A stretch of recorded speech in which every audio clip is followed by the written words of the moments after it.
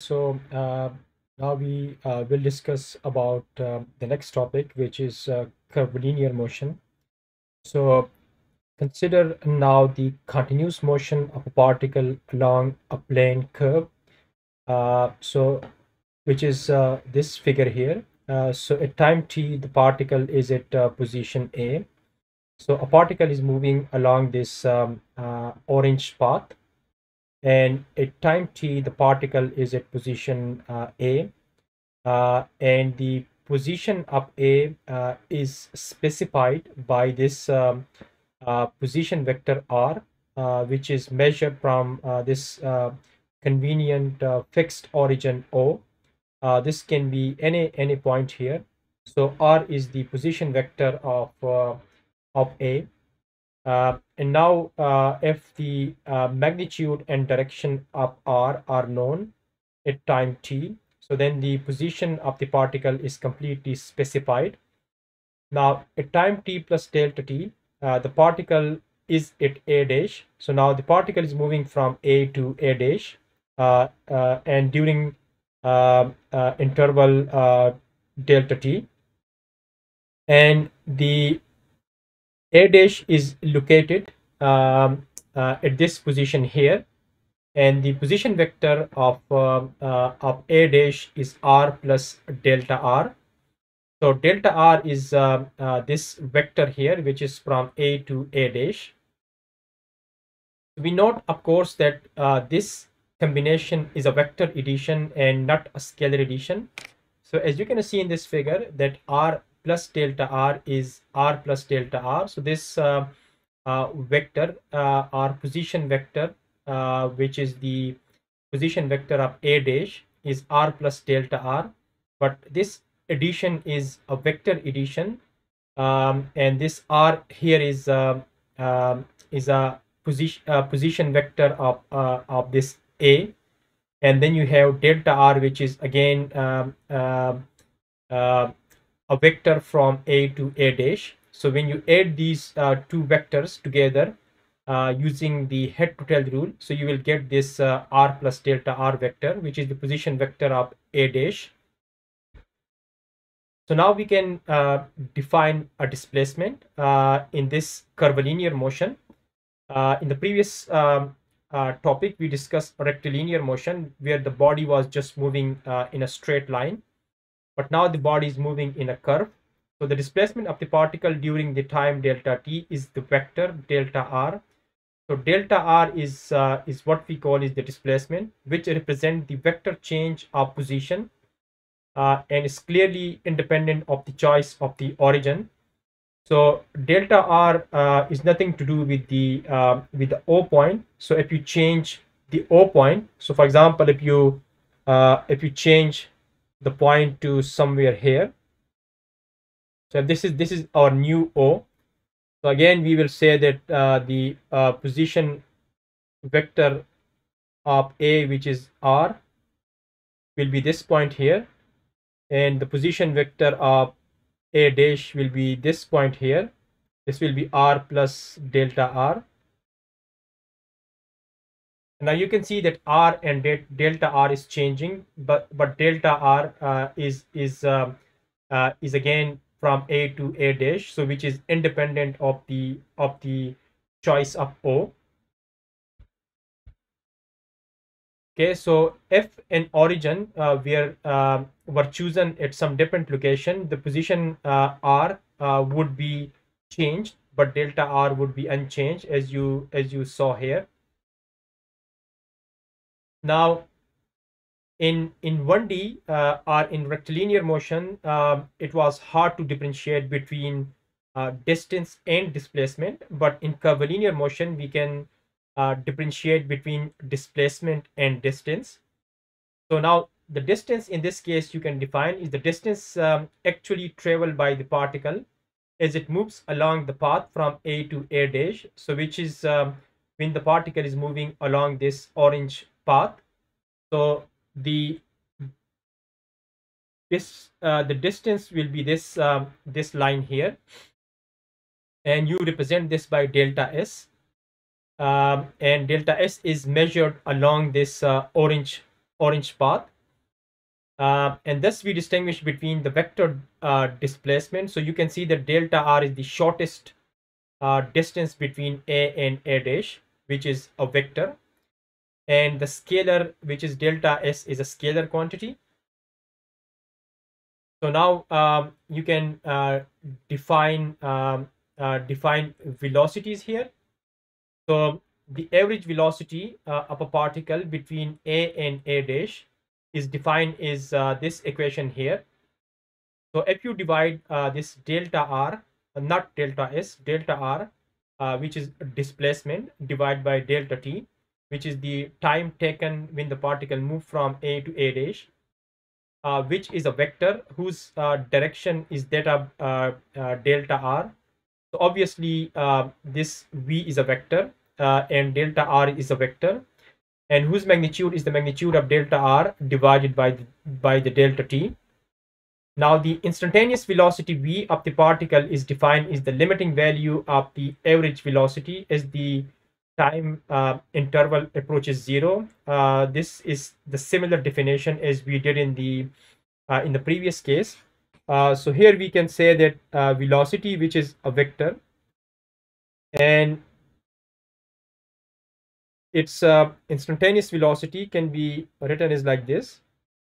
So when delta t approaches zero for the average um, velocity, this is what we call is the uh, instantaneous velocity. This is the definition of the instantaneous velocity.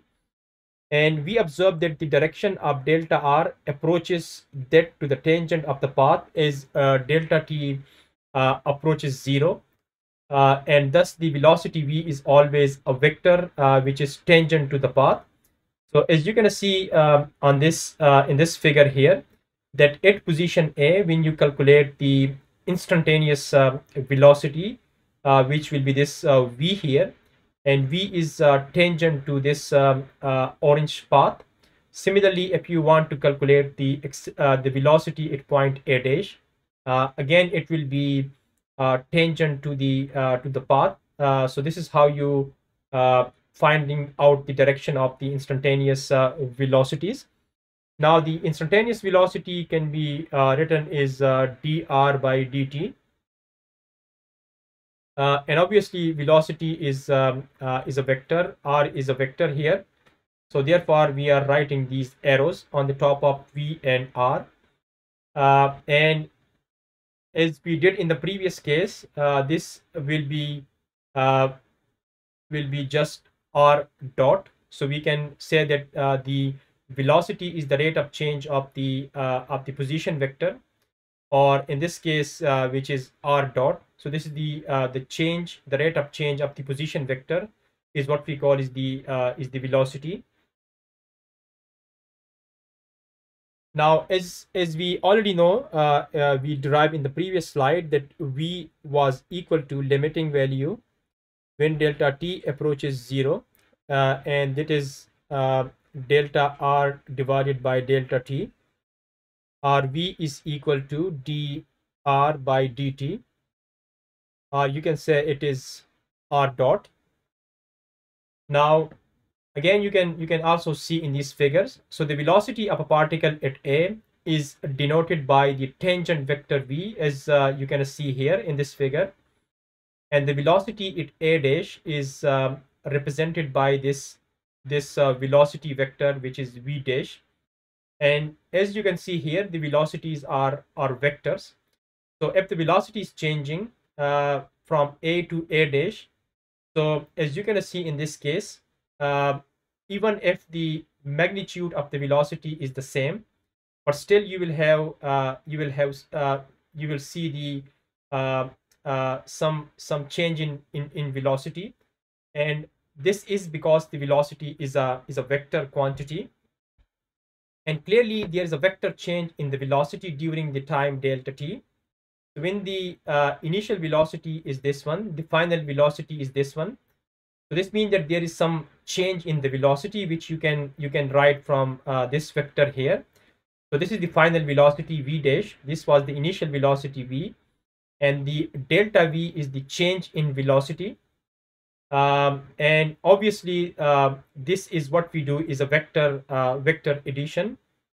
Uh, so the change delta v must equal the velocity at a dash. So we can write.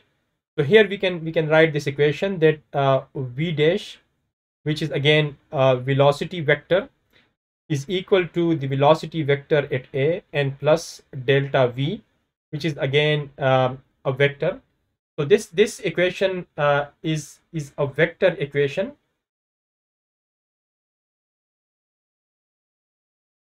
So this means that uh, you will have to you will have to perform this operation uh, uh using the uh, the procedure of vector addition. Now inspection of the vector diagram show that delta v uh, depend both on the change in magnitude which is length of, of v and the change in direction of v so even if v and v dash are same in magnitude, you will you will still have delta v here because it's it is a vector. Okay, now we can talk about the um, uh, about the acceleration. So uh, the definition of acceleration for the curvilinear motion is exactly the same as the definition uh, for the uh, of the acceleration for the rectilinear motion. So first you define the average um, uh, the average acceleration here. The average acceleration uh, of a particle uh, between a and a dash. So if the um, velocity here is um, uh, is v and here is the v dash. Uh, so the change in velocity as you uh, calculated here was delta v. So if you divide delta v by the um, the time interval which is delta t, you will get the average acceleration which is delta v divided by delta t uh, and again uh, which is a vector whose direction is that of delta v. So the uh, acceleration uh, will be in the direction of this delta v. And the magnitude of this uh, average acceleration is the magnitude of delta v divided by the delta t. And similarly we are also interested to know about the instantaneous acceleration uh, a. Of a particle is defined is the limiting value of the average acceleration is the time interval approaches zero so which is um, this equation here. So when um, time approaches zero then we, what we will have is the delta v divided by delta t. And obviously this is accelerate uh, is a vector. Velocity is a vector. Uh, so the instantaneous acceleration is the limit when delta t tends to zero and delta v divided by delta t. And by definition the derivative uh, so then uh, we can write is that this this equation is just the uh, just this thing here dv by dt. And obviously a is vector v is vector. And you can also write this is a v dot which is the uh, time uh, uh, derivative of the of the velocity here. Now we can uh, we can talk about the uh, rectangular coordinate system, which is XY coordinate system, as you can see in this case here. So the system of coordinate uh, is particularly uh, useful for describing motion uh, when um, where the X and Y component of the acceleration um, are independently generated or determined. Now the resulting uh, curvilinear motion is then obtained by a vector combination of X and Y component of the position vector uh, the velocity and the acceleration. So in this case, um, as you can see uh, in this figure here, that R uh, is a vector of uh, position vector of point A from here to here. And we can see that uh, in XY coordinate system, which is the rectangular coordinate system, this R can be split into two components. Uh, one is the X component and one is the Y component here so we can we can write r which is um, which is a vector and which can be write is x i plus y j. This i and j are um, are the unit vectors. Uh, so i is the unit vector along x and j is the unit vector along uh, along y. So we can we can write r r in this in this way here. Uh, similarly, you can you can differentiate this r with respect to time, and you will get the uh, velocities. So if you differentiate this uh, r with respect to velocity, so you will get r dot, which is uh, dr by dt. And you will get x dot which is um, uh, which is dx by dt. And again this is i. And y dot which is the uh, the dy by dt and j. Similarly you can calculate acceleration uh, which is again v dot and again acceleration is vector uh, v is vector and r r double dot which is again x double dot along i plus y double dot along j. We can also write uh, these um, uh, these vectors. So as you can see uh, in this case here that the velocity um, so this this equation is then uh, vx uh, i plus vy j. And similarly x double dot is ax i plus ay j.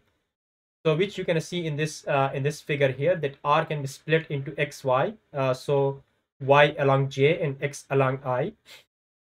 Similarly the velocity v which is the velocity at um, uh, instantaneous velocity at a uh, of a particle and again, this can be split into x component, which is Vx along i, which is this Vx along i, and then Vy along j, which you can uh, write like this. And similarly, the acceleration of a particle. Uh, so if the acceleration is in this direction here, the total acceleration, it can be split into two components uh, in x direction and in y direction. So which is, you can see the ax is the x component of acceleration and ay is the y component of this acceleration. Um, now the uh, you can also calculate the uh, uh, the uh, magnitude of the velocity from its component, which is vx square uh, plus vy square.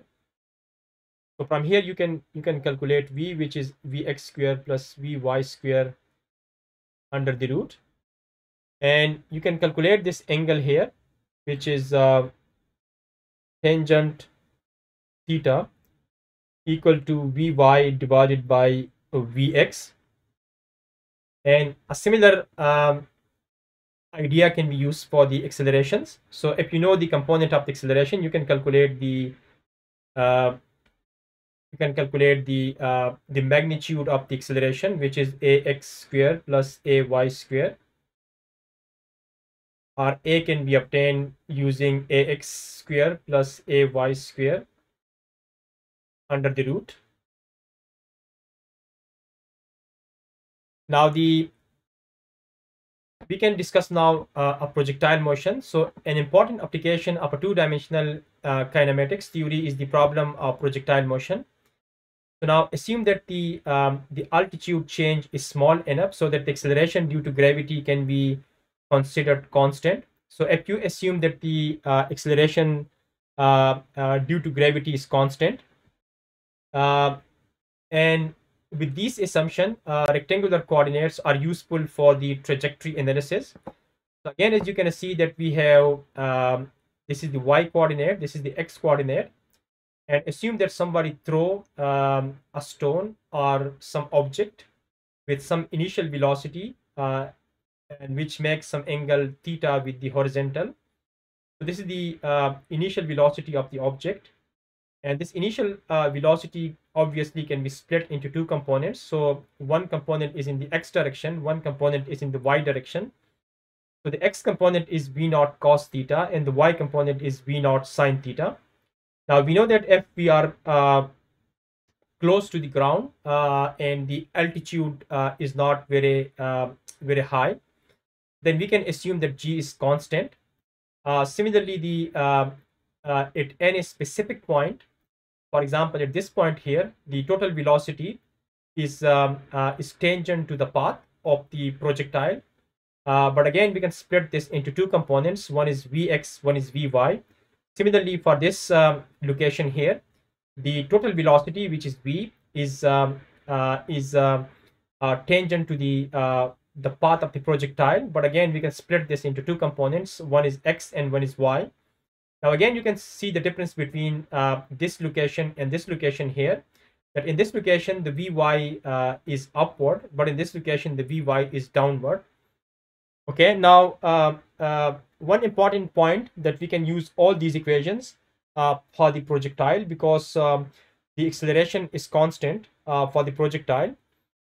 So as you can see that in x direction, there is no acceleration because you just throw the object with some initial velocity and then it depend on the initial velocity and the angle uh, and then the uh, and then it's uh, just moving or following this path here.